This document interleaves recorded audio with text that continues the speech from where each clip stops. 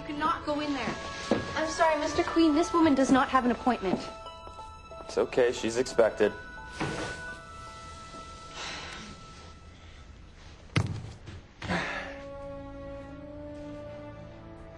I guess I really underestimated the mental powers of yoga. Well, I find the focus benefits my work. And apparently your premonitions. After your lamentable blunder, it was either this or a good firing from your boss. All right? Although, I must say, I, I didn't picture the fruit basket.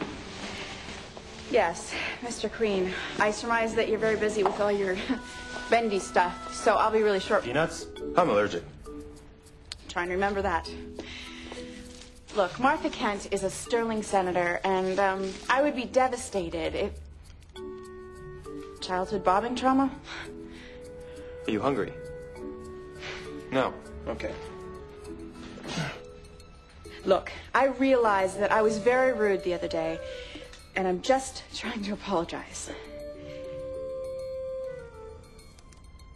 And if you hold this against Martha Kent, it will be you who is missing out on the opportunity of doing good work with a great woman. Right. Oh, I guess I was prematurely accurate on my opinion of you. Miss Lane?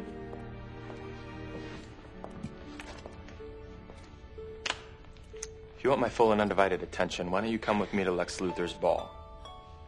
Well, I'm sure downsizing me for an entire evening would make great sport. I think I'll pass.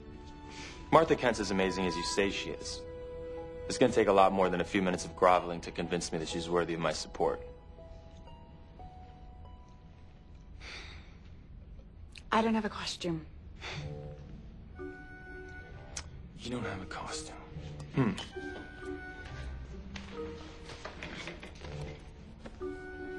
Right. The telepathy. You go. Okay.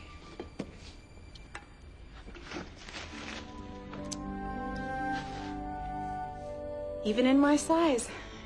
Mr. Queen, have you been rummaging through my drawers? Well, I have a good eye for sizing people up.